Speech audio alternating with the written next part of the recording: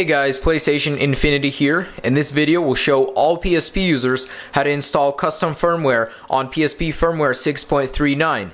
And yes, that includes every single PSP that was ever made. So the PSP Go, PSP 3000, PSP 2000, PSP 1000, and all the submodels as well. Basically, the only requirement that you must meet is you have to be on the official 6.39 firmware. Now, obviously, this requirement isn't very hard to meet. All you have to do is update your PSP to firmware 6.39. If you're like me and you're not on 6.39 yet, as you can see, I'm on 6.38. I'll have an article down below. There will be a link. Click on it and it'll explain how to update to firmware 6.39. Real quick, I'm going to update my PSP to firmware 6.39 and I'll be right back. Okay, so my PSP has been updated to firmware 6.39 and we can go ahead and get started. So on our desktop, we're going to need custom firmware 6.39 Pro Beta 6 fixed. Basically, this version of Pro Beta 6 has been updated, a lot of bugs removed, it's more stable, and you're getting the latest and greatest custom firmware for your PSP. The link to the custom firmware can be found in the description down below, where a link to my site will take you to an in-depth guide as well as all of the links there. Now the file itself is a RAR file, so you will need WinRAR to extract it, and I will provide a link for WinRAR as well. Okay, so go ahead and open up the file.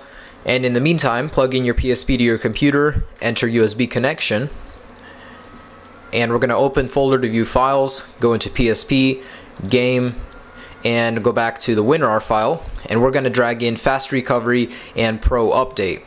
Don't worry about the SDK. I already have it in there, so I'm going to replace it, move and replace, move and replace.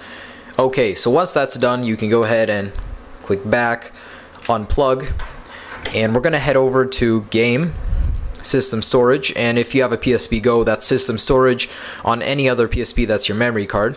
We're going to go down to the Genesis background pro update. Click on it. Alright so the next thing we're going to do is press X. So go ahead and do that. And you'll notice all these lines. That means it's working. And press X to start the custom firmware. Okay your PSP is going to reboot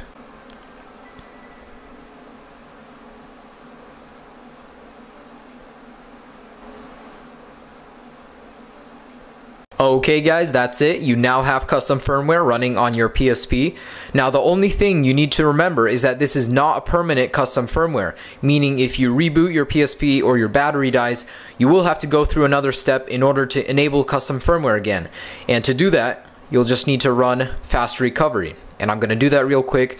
Basically, it reboots your PSP and in the process enables custom firmware again. Okay, so re-enabling custom firmware on your PSP is that simple. Also, if you guys are looking for a permanent custom firmware solution, I will have a video up very soon on how to do that, as well as more great PSP videos, so please subscribe. Also, rate this video if it helped, if you liked it. Don't forget to comment, and enjoy your modded PSP, guys. Have a great day.